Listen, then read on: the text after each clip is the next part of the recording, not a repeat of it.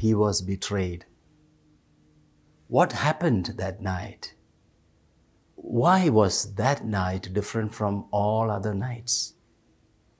Dear brothers and sisters in Christ, one of the famous hymns often sung on the Holy Thursday night is Pange Lingua Gloriosi, Sing My Tongue the Saviour's Glory. This hymn, composed by St. Thomas Aquinas, captures the spirit and the reality of the Holy Thursday.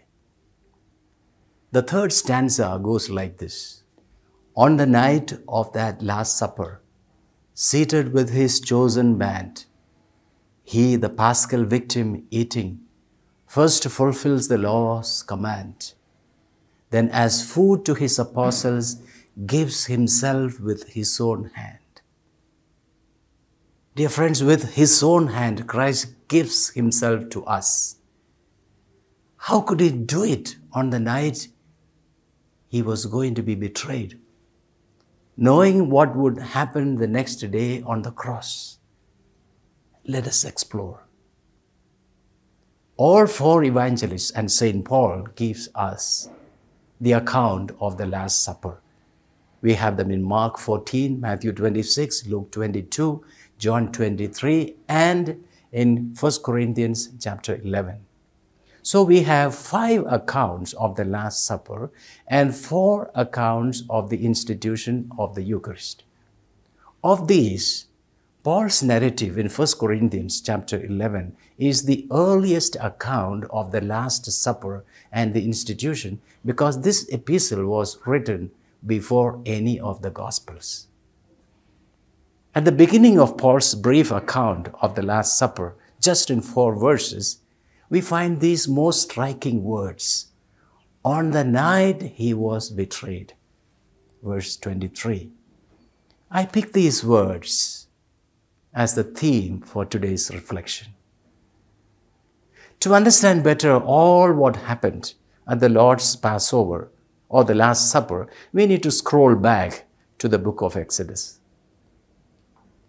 Exodus chapter 12, the first reading of Holy Thursday this year, tells us what the children of Israel were asked to do before they left Egypt and embarked on their journey from slavery to freedom. None of them knew that this journey would last 40 years. This came to be known as the famous Exodus event in the history of Israel, the desert experience of the people of God. The second reading and the gospel of the day tell us about what Jesus did before he journeyed to Calvary, carrying the sins of the world and finally laying down his life. Through his great act of sin bearing, suffering, death, resurrection, and his self sacrificial love, Jesus wins the whole human race, the liberation from sin and condemnation. He signs a new covenant and establishes a new Israel. The Exodus episode of the day describes how the Lord, through Moses, instructed the community of Israel to prepare for their journey to liberation from Egypt. They had to slaughter an unblemished lamb and apply its blood to the two doorposts and the lintel of the house in which they were to partake of the lamb in the same night. This came to be celebrated as the Passover, which the Jewish people faithfully observed. The Passover and the subsequent Exodus events set the background for what Jesus did on the night he was betrayed. The lamb without blemish, the slaughter, the blood, the Passover, all these realities of the Exodus came to be fulfilled in Jesus. These signs in the Old Testament become realities in the New Testament. The blood on the doorpost becomes the mark of salvation for the Israelites. And the blood of Jesus becomes the mark of salvation for us. In Ephesians chapter 1, verse 7 and 8, Paul says, In him we have redemption through his blood, the forgiveness of our trespasses. And St. John says that the blood of Jesus Christ, his Son, cleanses from all sin. 1 John 1 7. The blood shedding and the sacrifice of Jesus completes the exodus of the sinful human race. First, on the night he was betrayed, the awful night. Let's focus a little on the night of Jesus. That was the last Jewish Passover night of Jesus, the last meeting with his disciples before his death. It was the most sorrowful farewell night. That was the night that would become the night of great memory and remembrance. More than all these, the purpose which, for which Jesus came to the world was uh, being accomplished on that very night. The baptism he waited for was drawing near. And Jesus had said, I have a baptism to be baptized with, and how great is my distress until it is accomplished. Luke 12, 50. The cup that he would drink was very close. Mark writes, They began to be sorrowful and said to him, When Jesus breaks the news of his betrayal, the disciples were drowned in sorrow. Jesus, the beautiful drama movie of 2020, filmed in front of a live audience, captures the emotions of the disciples of Jesus during the Last Supper when he says, in a little while you will not see me. John 16, verse 16. The scenes of the Last Supper in the movies, Jesus of Nazareth and the Passion of Christ too, are mind blowing. As we read from John chapter 13 to 17, we too become the audience of moving, this moving farewell discourse and actions of Jesus, finally culminating them in his priestly prayer in chapter 17. And John writes, After receiving the morsel of bread, Judas immediately went out, and it was night. The dark night was made all the more dark by the betrayal of one of his own disciples, Judas. This darkness was conquered by Jesus with the light of his resurrection. The words of Jesus, my soul is very sorrowful even to death, show the intensity of his agony on that night. In his bitter anguish, he opens his heart out to the Father. Falling on his face, Jesus cried out, My Father, if it be possible, let this cup pass from me. Nevertheless, not as I will, but as you will. Jesus now has come a long way from the silent night of his birth to the most dreadful night before his death. 33 years of his earthly life finally brought him to this awful, sorrowful, and darkest night. Second, on the night he was betrayed, Jesus knew John tells us in his chapter 13, Jesus knew what was going on and what was in store for him. The first verse says, Jesus knew that his hour had come to pass from this world to the Father. Again in verse 3, he repeats, Jesus, knowing that the Father had given all things into his hands, and he had come from God and was going back to God. He loved them. He loved his own in the world and loved them to the end. John emphasizes the knowledge of Jesus, the awareness of Jesus. And what did Jesus know? Jesus knew that his hour had come. Jesus knew that he was going to pass from this world. Jesus knew that the Father had given all things into his hand. Jesus knew that he had come from God. Jesus knew that he was going back to God.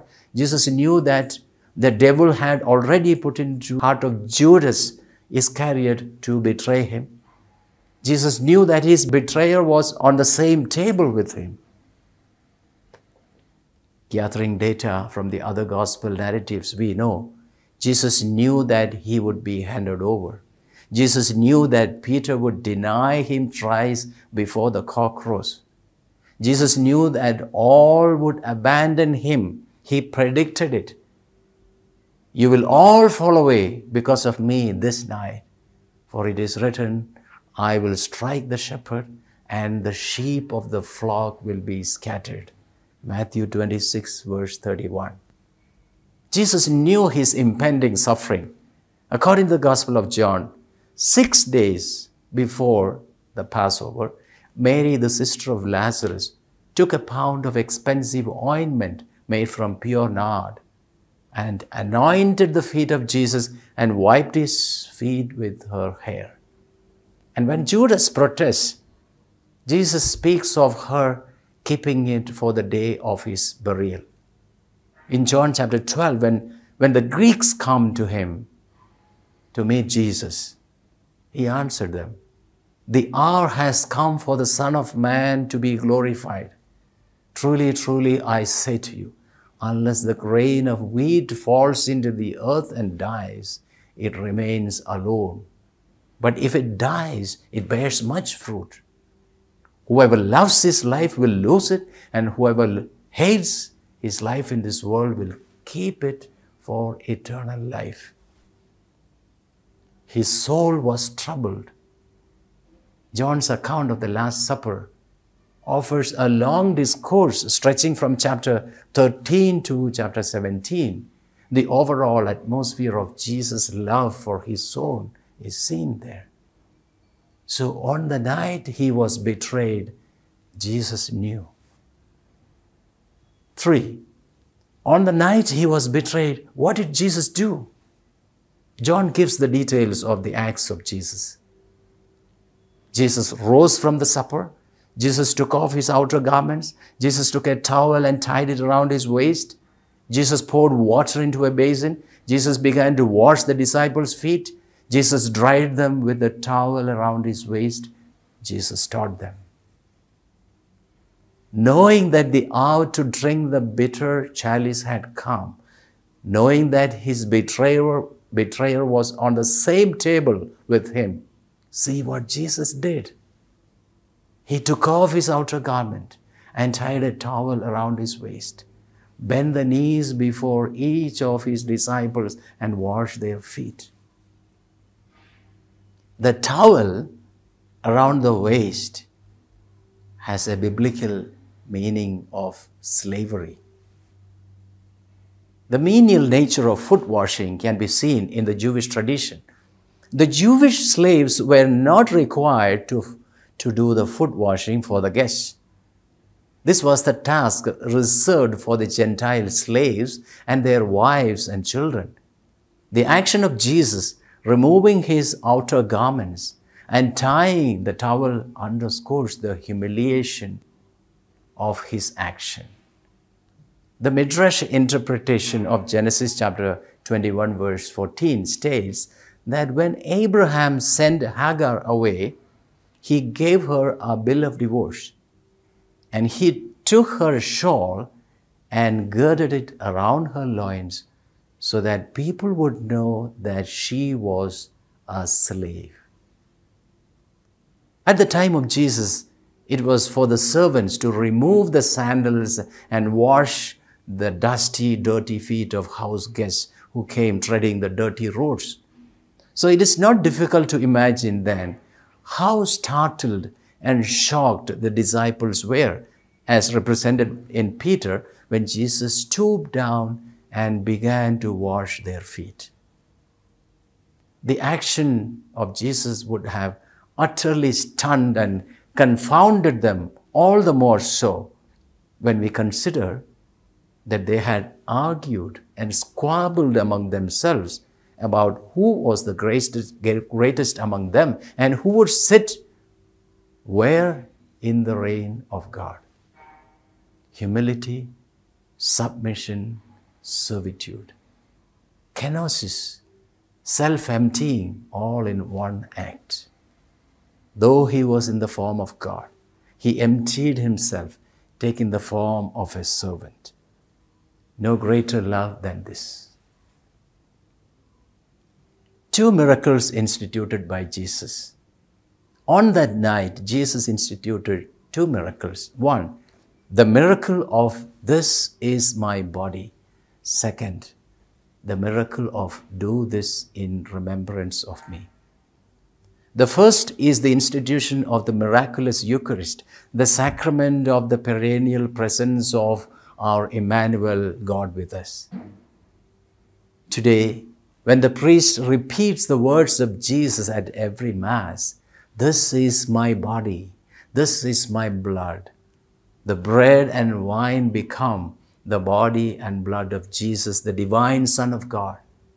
So we bow down and worship at the moment of consecration.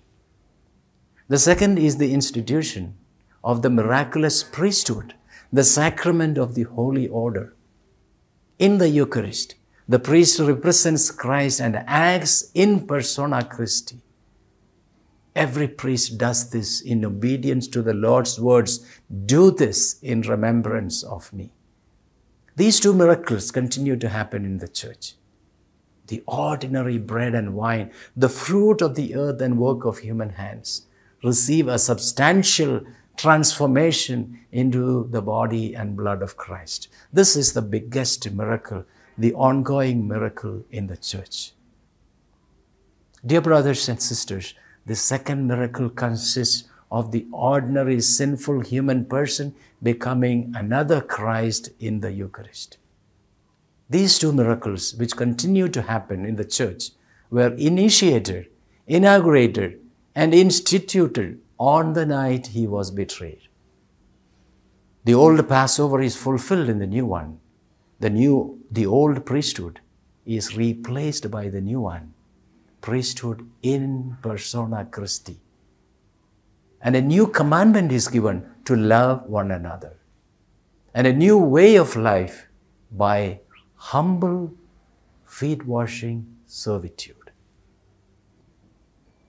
Can we not say that Jesus institutes a third sacrament here, a sacrament of washing one another's feet, a sacrament of self abasement and service? This third sacrament, if we can deem it so, makes one a true disciple of Jesus. After washing the feet of the disciples, Jesus says, As I have done for you, you should do also. The example of Jesus as a servant challenges us to become a people of the towel. In this way, Jesus gives two commandments or two ordinances. First, do this in remembrance of me. The Eucharist makes us the people of the table. Two, washing one another's feet. Washing one another's feet makes us the people of the towel. Jesus says, If I, therefore, the master and teacher, have washed your feet, you also do, should wash one another's feet. Finally, dear brothers and sisters, the Lord has expectation from us. And let me point out three. One, the Lord expects us to accept gratefully and revere the gift of the two sacraments of the Holy Eucharist and the priesthood. We need to make ourselves worthy of it, as Paul tells us in the Corinthians. Two, he wants us to perpetuate them faithfully in remembrance of him. We need to become the people of the Lord's table, true worshippers of the new covenant. Young people today should listen to God's call to priesthood, and we must encourage and support them. And three, Jesus wants us to live our new identity as people of the towel in sacrificial love and humble service. Let me conclude with Revelation chapter 1, verse 5. To him who loves us and has freed us from our sins by his blood, who has made us into a kingdom, priests for his God and Father. To him be glory and power forever and ever. Let us prepare ourselves to meet the Lord on the night he was betrayed. God bless you.